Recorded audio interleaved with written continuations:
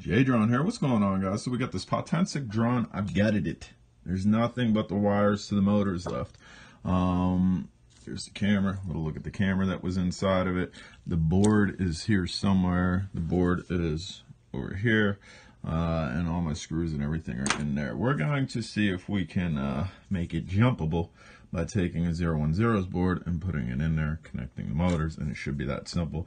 Then, if it flies really well on this, um, with that board in there, you might throw a FPV camera in it and have a larger whoop. Uh, the drone itself was an okay drone. It wasn't super great, but it was an okay drone, so we figure uh, we'll try to turn it up a little bit with a different board. All right, I got one motor wired up, so we're to turn on the jumper here. And flight controller one solid. Bam! So that's working. We're going to get the other four wired up. All right, guys, all the motors are wired up. Um, what I've done, I've put a little bit of a heat shrink on each of them, the positives and negatives you could see, and I like to press them. I like to heat them and then press them. Hurts my fingers just a little bit, but it makes sure the wires are definitely not going to come apart.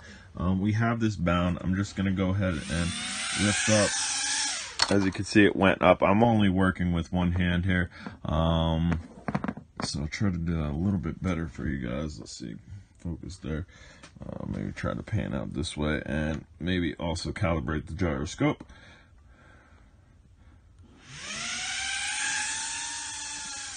As you can see, it definitely flies. Um, we're going to need to get two hands on this. I need to figure out a battery bake, and then uh, we'll be good to go. All right, guys, finished product. So you can see that brace that goes over top of it. Um, it does screw in, as you can see there. And then we do have this wired. You can see the red wire there that gets fed all the way back here right into there. You can see my solder points on the opposite side of that. See the little black mark there because we are using a lossy connection. That way I can connect uh, without uh, frying this. Uh, we're going to give this a flight using the FXT goggles, and we are also using the T16 controller. So here we go. We are using the T16. I will tell you, and you'll see it. I mean, eventually we'll get it, but you see I'm banging into all types of things. I'm a better FPV flyer than this. Uh, I will say I'm a little bit rusty. I've been flying in open space. Now, the T16 as soon as we crash, we'll get to it. Bam. Let's retake off. The T16 is a very sensitive controller. It is on point. Well, if it's sensitive and on point, why aren't you able to fly really well with it? Because it's not forgiving, if that makes any types of, type of sense.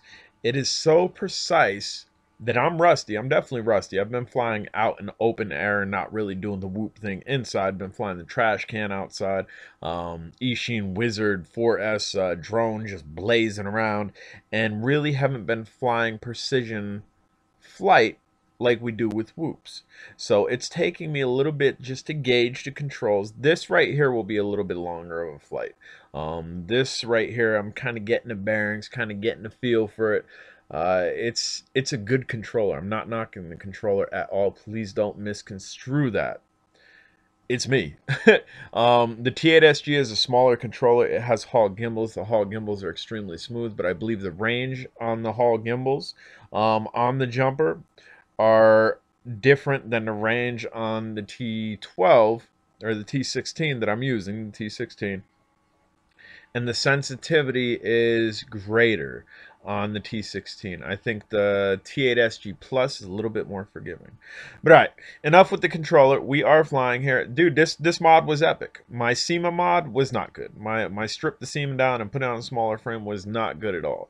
This was essentially gut the flight controller, take the camera out of it, trim the frame up a little bit, throw a AIO, AIO, A-I-O. If you've been with me for a while, you're probably singing with me.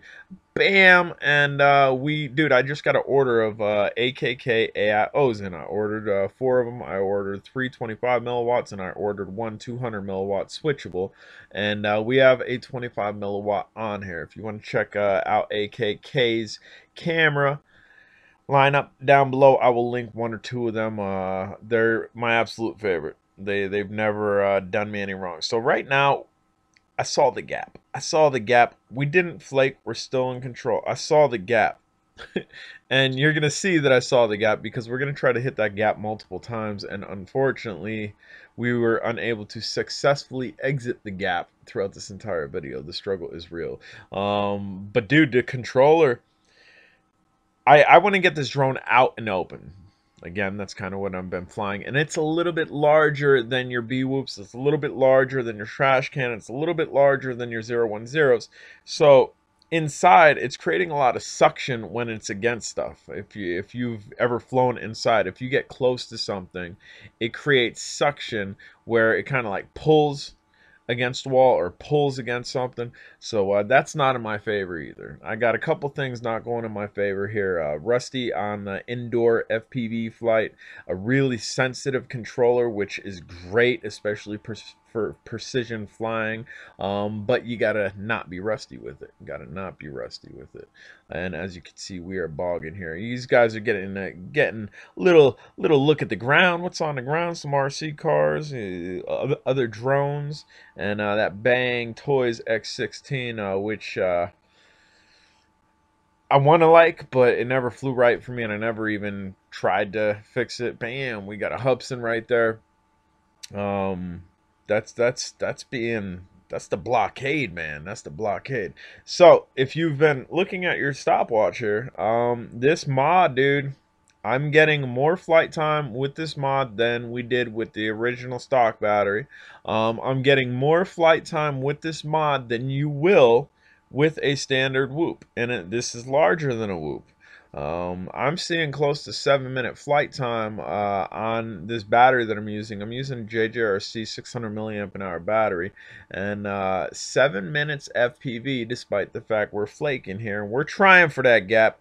Um, seven minutes FPV in the goggles on a whoop, despite the fact it's larger is epic. This mod was 100% successful. I highly suggest to anybody to do it. It was simple. It was uh, snip the wires off of the stock board. Trying for that gap. Trying for that gap. Snip the wires off the stock board. Take a 010s board, put it in it. Run the wires. If you're not going to solder, run the wires to the wires on the 010.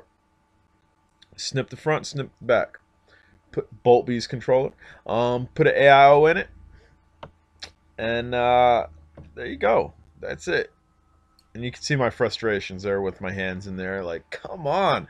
Um, I'm a pretty good dude. I I've gone through smaller gaps than that, dude. I, with the with the Armor 85 drone, um, I went through smaller gaps with that when uh, I was out on my birthday in that hotel MJX uh, Bugs 5 controller. Guys, I'm Jay Drone. If you haven't subscribed, smash the subscribe button.